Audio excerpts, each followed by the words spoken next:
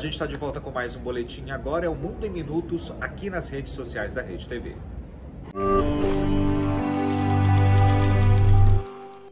Bem, este ano a ceia de Natal terá um peso maior para o consumidor. Infelizmente, não é sobre a quantidade, mas sim sobre o preço.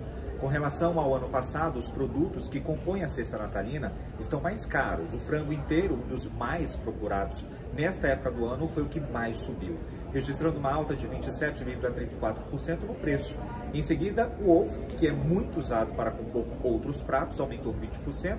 Os pães, por sua vez, registraram um acréscimo de 11%. O bacalhau subiu quase 8%, além dos vinhos e do lombo suíno, que são muito tradicionais nesta época do ano, e aumentaram pelo menos 6% em comparação com 2020.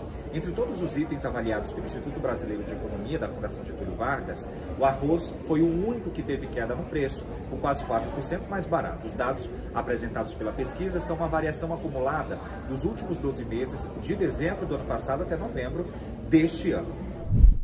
Bem, o Tribunal Superior Eleitoral faz nesta segunda-feira o sexto teste público de segurança das urnas eletrônicas.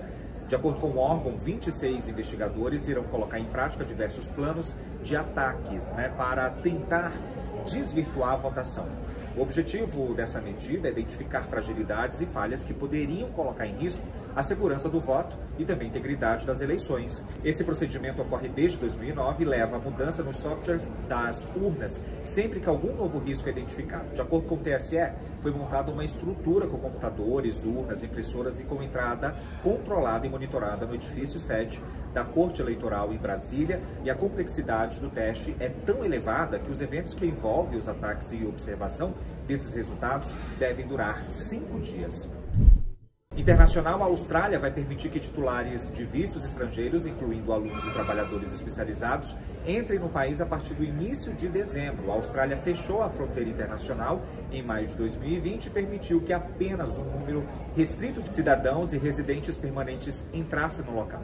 As regras em relação ao coronavírus foram relaxadas nas últimas semanas e o primeiro-ministro do país, Scott Morrison, disse que em breve irá permitir o retorno dos trabalhadores e estudantes, passo importante né, para reativar a economia.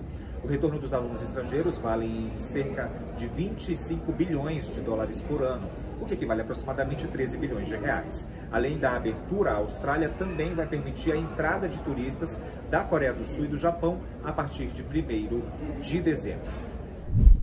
Bem, no último final de semana, um torcedor turco sofreu um ataque cardíaco após um gol nos acréscimos, durante o maior clássico do país. Hamet Yussal, de 60 anos, assistiu um jogo da Fenerbahçe e também Galatasaray, na companhia de um sobrinho, quando desmaiou após o gol de Miguel Crespo, aos 49 minutos do segundo tempo. A marcação deu a vitória ao Fenerbahçe e, de acordo com a agência turca de notícias, o torcedor era fanático pelo time e sua exaltação foi tão grande com o gol que o levou ao ataque cardíaco.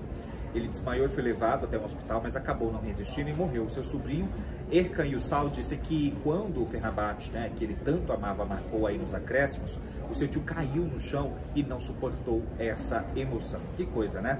Aos sentimentos aqui familiares e amigos. A gente fica por aqui, daqui a pouquinho tem mais boletim. Thank.